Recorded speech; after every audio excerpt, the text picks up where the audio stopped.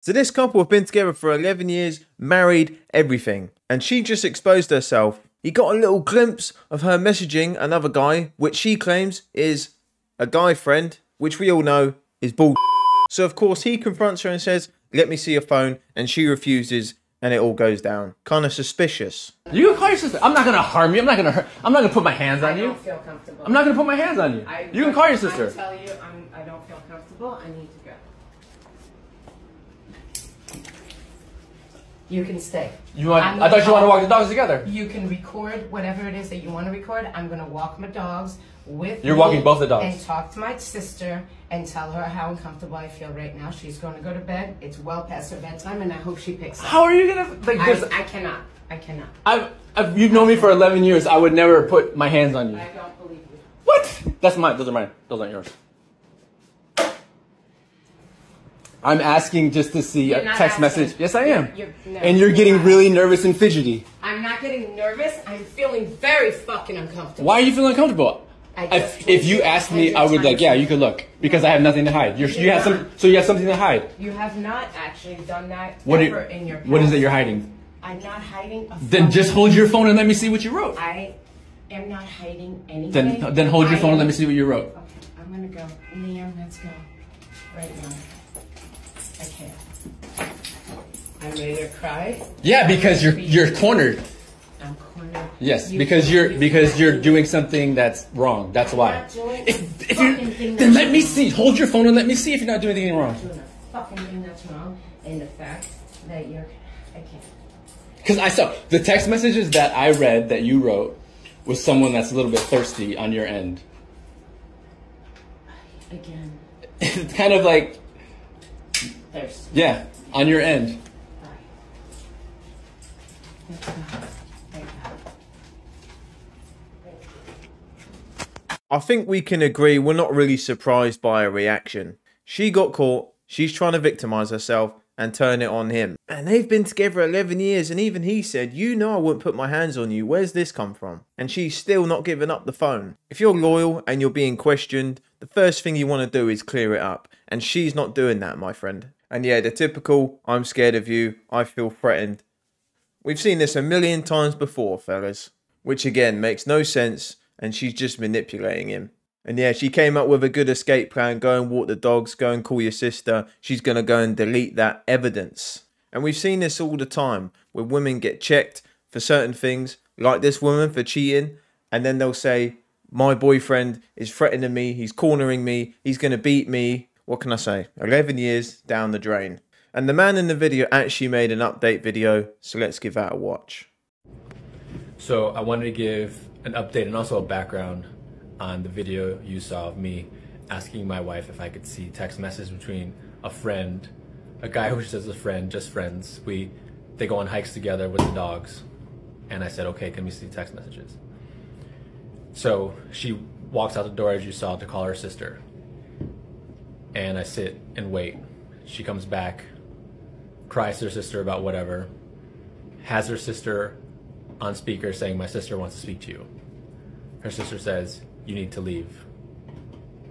I just flew five and a half hours across the country into another country to visit my wife and spend time with her, and we were supposed to go on a road trip. And now she doesn't feel safe with me after we've been together 11 years together, seven years married. Asking a simple question Can I see the text message between this friend of yours? no longer feels safe around me when I've never, ever hit her, raised the hand to her, grabbed her, anything ever in our relationship. Now, she doesn't feel safe. She wants me to leave. I'm in a different country. I don't know anyone. I don't have any friends. And she says, go back. I'm completely crushed. Completely. My heart is completely crushed. You got a feel for this guy. Of course, the sister's involved and she's going to take her side. So the sister is just as dumb as she is. Can you imagine being with someone for 11 years, 7 years married? You fly across the country, you turn up, she's acting suspicious, messaging a guy friend, and she tells you to leave. And all of a sudden, she's saying she feels unsafe. You're threatening her, cornering her, you're going to beat her. She couldn't make it any more clear that she is cheating Why the hell is she going on hikes with another man? That's a red flag. But let's continue on with the video. So I left. I respected her wishes. I didn't want any. I didn't want to get arrested or have anything because she's saying she doesn't feel feel safe around me. Like okay, so I left. I she booked a hotel. I stayed, and I found my way back to the states. I am with my family because I just can't be alone right now after someone just completely disrespected me. My wife completely disrespected me after all these years. And I'm I'm my heart is, is shattered. And um yeah, I, I how could how could you kick someone out of your house after they you fly five and a half hours to a different country? I don't understand how you can do that to someone, your husband, let alone. I would never in a million years do that to my wife. If she asked me about something and I say no, you have to go. I don't feel safe. You're asking me this question. You have to go. I'm devastated, man. But I recorded it because I just needed evidence that I wasn't crazy, that her reaction was like, and I posted it just so that I can get others to see, like, I wasn't asking a lot, and I'm not crazy, like, what's happening.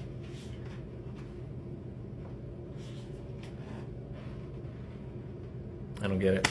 Well, I do get it. She was lying, but it's just how, how you can do that to someone, how you can completely disrespect someone like that when I've never, yeah, it's just.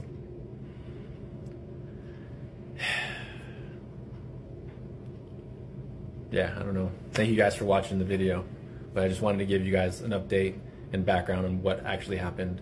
And now I'm back in the States and, uh, yeah, trying to pick up the pieces because I'm completely crushed.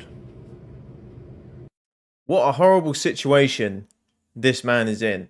11 years down the drain because she's out there wilding and acting like a 304. That's a cold hearted woman right there. The man she was with for that long, he flew across the country and she was just like, nah, I got some other Willie now. Get yourself back home. And she hasn't even got the respect to just say what she's doing. And she's tarnishing his name in the process.